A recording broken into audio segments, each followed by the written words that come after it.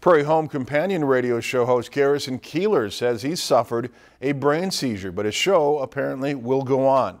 The 73-year-old Keillor posted on Facebook Thursday that he had what he called a whirlwind weekend, doing two shows back-to-back -back at Wolf Trap National Park for the Performing Arts in Virginia and suffering a nocturnal brain seizure. He flew to Mayo Clinic where he underwent an MRI, which showed what he called a black hole where a previous stroke had struck near his brain's language center.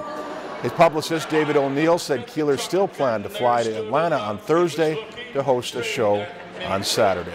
If you've enjoyed this segment of Lakeland News, please consider making a tax-deductible contribution to Lakeland Public Television.